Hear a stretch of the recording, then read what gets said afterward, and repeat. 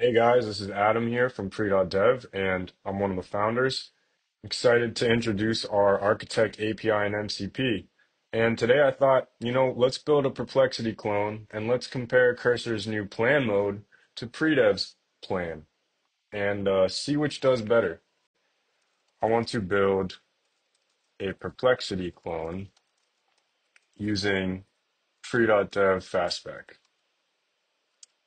Okay, here we go. You just click run So now it's running fast spec. That'll take 30 or 40 seconds. On the right, we'll switch cursor to plan mode and say the same exact thing. I want to build a perplexity clone.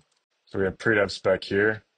We have um, perplexity, or sorry, uh, the cursors, cursor spec here. Cursor basically output around six tasks. Here, um, pre-dev, much more in depth. I mean, user stories and acceptance criteria.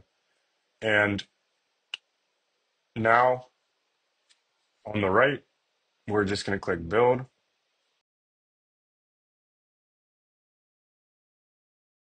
Okay, there we go. So that looks not not too bad. Okay, that's sick. It actually works versus this guy, which does nothing at all. So that shows you the power of Predev and how, hello, can even ask follow-ups, get the actual sources, and it actually goes to the right thing. Even though this is mock data, but but still